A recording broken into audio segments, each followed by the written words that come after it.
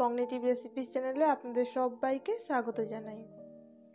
আপনাদের মধ্যে যারা ফুলকো ফুলকো রুটি করতে পারেন না, তাদের জন্য স্পেশালি এই ভিডিওটা বানানো। আর তারা এই ভিডিওটা ফার্স্ট থেকে লাস্ট অবধি দেখবেন এই রকম ফুলকো ফুলকো রুটি বানানোর জন্য। আর ভালো লাগলে প্লিজ চ্যানেলটিকে সাবস্ক্রাইব করে নিন। আর তার সঙ্গে বেল আইকনটি প্রেস করবেন যাতে নতুন নতুন ভিডিওগুলি আপনি সবার আগে পেয়ে যান। তাহলে চলুন বন্ধুরা, আমরা রেসিপি দিকে এগিয়ে যাই। এই ফুলকো ফুলকো রুটি বানানোর জন্য আমি একটা বাটি নিয়েছি আর বাটিতে আটা দিয়ে দিচ্ছি। এই যে হাতাটা দেখছেন, এই হাতা, এক হাতা আটা নিলে আমার চারটে রুটি হয়ে যায়। সেই পরিমাণ মতো আমি চার হাতা আটা নিয়ে নেব। আর আপনারা আপনাদের পরিমাণ মতো আটাটা নিয়ে নেবেন। এর মধ্যে দিয়ে দিচ্ছি টু স্পুন নুন। আপনারা পরিমাণ মতো নুনটা দেবেন। এবার হাতের সাহায্যে ভালো করে নুনটা মিশিয়ে নেব। ভালোভাবে মেশানো হয়ে গেলে এর মধ্যে অল্প অল্প জল দিয়ে ডোটা বানিয়ে নেব। একেবারে কিন্তু জল দেবেন না না হলে ডোটা পাতলা হয়ে যাবে আর রুটি হবে না। এইভাবে অল্প অল্প জল দিয়ে আটাটাকে মাখতে হবে। এই যে দেখুন, এইরকম নরম করে একটু মেখে নেবেন, তারপর দশ থেকে পনেরো মিনিট ঢাকা দিয়ে রেখে দেবেন। দশ থেকে পনেরো মিনিট পর আবার ফিরে এসেছি। আর একটু হাতের সাহায্যে ডলে নিলাম। এবার এই ডো থেকে একটুখানি আমি নিয়ে নিচ্ছি।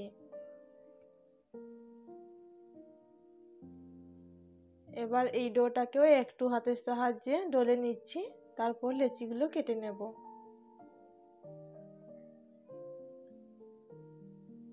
এই যে দুটা পরিমাণে ডো নিয়েছি, ঠিক এই রকম সাইজের আমি সবগুলো লেচি কেটে নেব। আজকে গলার অবস্থা অনেকটাই খারাপ, জানি না পরে রেসিপি কীভাবে দেব। এই যে দেখুন, ঠিক এইভাবে আমি সবগুলো লেচি কেটে নেব। এই যে দেখুন, সবগুলো লেচি কেটে নেওয়া হয়ে গেছে। এবার আমি এইগুলোকে বেলে নেব। লেচিটাকে দিয়ে উপর থেকে আটা ছড়িয়ে দিয়েছি।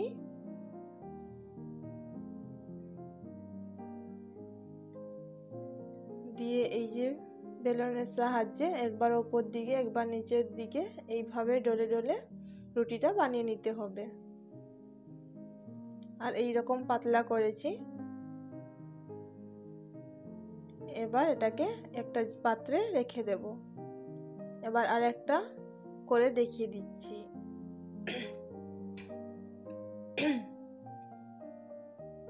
এবার আমি আগের থেকে তাওয়াটা গরম করতে বসিয়ে দিয়েছিলাম। তাওয়াটা গরম হয়ে গেছে। এবার একটা রুটি এর মধ্যে দিয়ে দিলাম।